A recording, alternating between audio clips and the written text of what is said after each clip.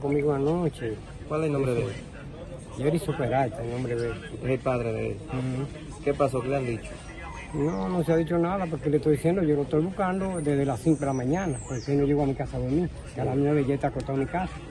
Y salgo buscando y ando para los animales, y ando para todos lados, y no sé, lo estoy llamando el número de él, no me coge el número, y digo, ¿dónde está Jerry? Bueno, pero ando buscando por, para ver si estaba por aquí, preguntándole al piano por ahí, nadie lo ha visto.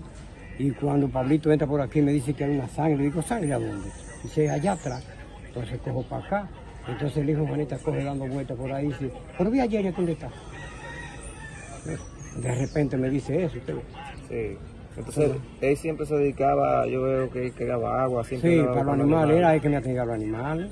Él atendía- él atendía a la vaca. Sí, era el que me atendía a la vaca y cargaba el agua para la vaca. Hoy me dijo Cairo, pero qué raro que Jerry no Ella de iba a ordeñarle una vaca que tiene Carlos todos los días, todos los días también. ¿Qué edad tenía él? 22 años. 22 años. Ujú. Todavía la tenía- no ha dicho nada. No, la policía todavía no se sabe. Él tenía problemas con alguien. No, no, no, no tiene problema con nadie, no. Yo era un muchacho, yo era un muchacho derecho, trabajador, y él lo que le gusta es trabajar.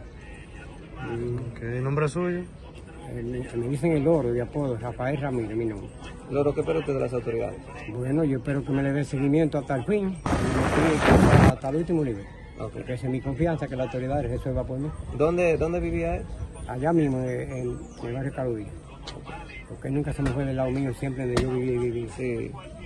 Ok, mi querido, gracias. Sí.